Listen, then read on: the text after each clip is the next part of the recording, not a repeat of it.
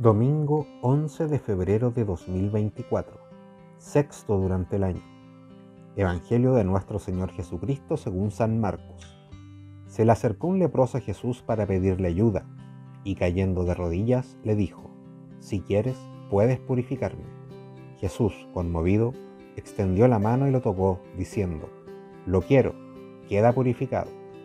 Enseguida la lepra desapareció y quedó purificado Jesús lo despidió advirtiéndole severamente, no le digas nada a nadie, pero ve a presentarte al sacerdote y entrega por tu purificación la ofrenda que ordenó Moisés, para que les sirva de testimonio. Sin embargo, apenas se fue, empezó a proclamarlo a todo el mundo divulgando lo sucedido, de tal manera que Jesús ya no podía entrar públicamente en ninguna ciudad, sino que debía quedarse afuera, en lugares desiertos, y acudían a él de todas partes palabra del Señor.